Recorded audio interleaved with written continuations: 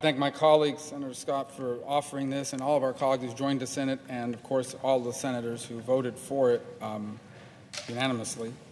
Uh, my colleague from Florida has already mentioned the, the three names of, of those in the service of our country who, who lost their lives in Pensacola, and I'll talk about them more in a moment. I, I do want to say a couple things. The first is Pensacola really is one of the hidden gems uh, of the state that, that Senator Scott and I represent.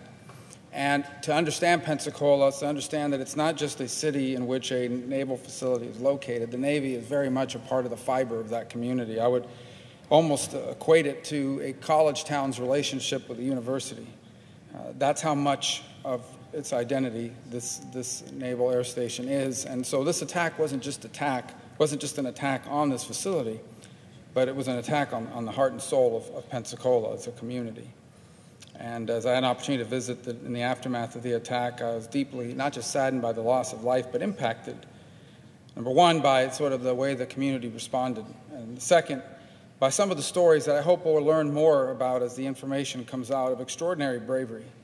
Not just the first responders, but, but others who happened to be there at that time who exhibited extraordinary stories of heroism in the face of evil in this terror attack. People who rushed into the building that gunshots were coming from instead of run away, as most people would do.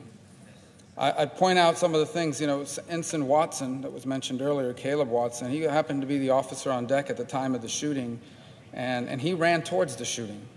He was yelling for people to get out of the way. He, he actually proceeded to tackle the killer here and, and fought him in an attempt to disarm him, all while being shot at least five separate times.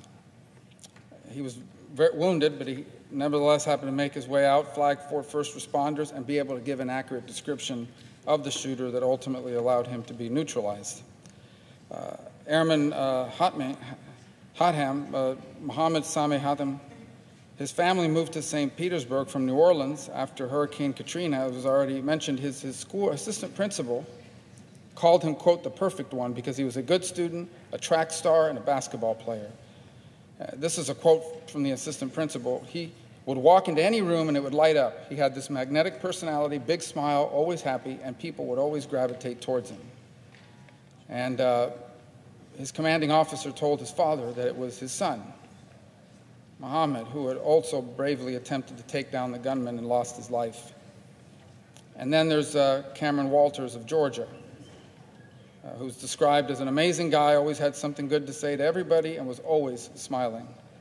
You know, the morning of the shooting, uh, Airman Walters was randomly assigned to watch duty in that building, Building 633.